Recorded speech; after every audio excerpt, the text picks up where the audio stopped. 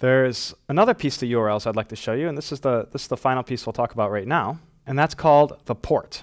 When you make a web request to a server, this is the host. This is the, the name of the machine or, or, or the, the location of the machine you're requesting.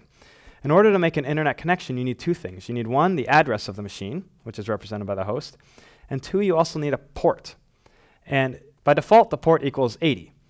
If you want to use a different port, you can include it in the URL between the host and the path separated by a colon. In this case, we'll be making a request on port 8000.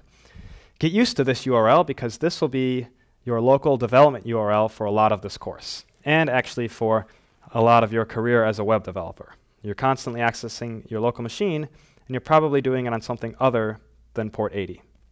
There are even more parts to a URL, but they're not particularly relevant to us right now. They'll come up you know, as we go.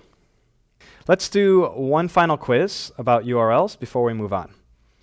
What I'd like you to do is take this URL and identify its main parts. Host, protocol, fragment, query, and port.